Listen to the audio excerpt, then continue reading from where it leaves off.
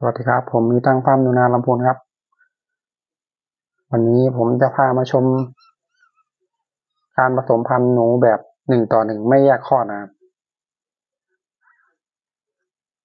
นี่ครับหนึ่งต่อหนึ่งไม่แยกข้อก็จะประมาณนี้ครับ อันนี้ข้อได้สักสามวันนะครับ ตัวนี้เลี้ยงลูกดีครับ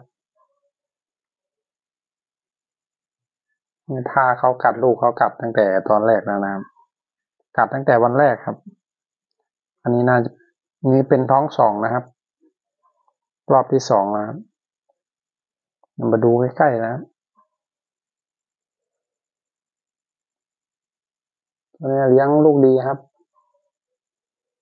หนึ่งตัวหนึ่งไม่แยกคลอดครับ อายุเข้าผสมตอนแรกนะครับ อยู่ที่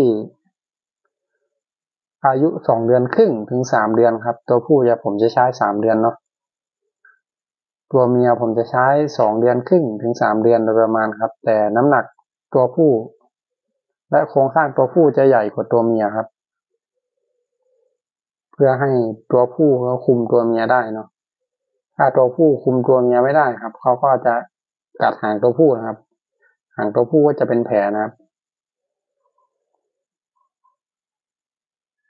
ทิกง่ายๆครับสำหรับการจับผสมเข้าคู่ครั้งแรกครับ เราควรจับผสมเข้าตอนอายุเท่าไหร่ครับ บางคนก็จับผสมอายุสี่เดือนห้าเดือนก็ว่ากันไปครับ น้ำหนักต้องหนึ่งกิโล แต่ของเราครับ เราจะใช้หนูอายุสองเดือนครึ่งครับ ถึงสามเดือนเนาะ พื่อให้เขาปรับตัวเข้าหากันได้ง่ายครับ เพราะหนูอายุหนึ่งอายุอายุสองเดือนครึ่งถึงสามเดือนครับ เขาจะเป็นหนูรุ่นครับ เขาสามารถปรับเข้า ปรับตัวให้เข้ากับหนูตัวอื่นได้ง่ายครับ แต่ถ้าตัวใหญ่แล้วครับ เขาจะห่วงที่อยู่นะครับ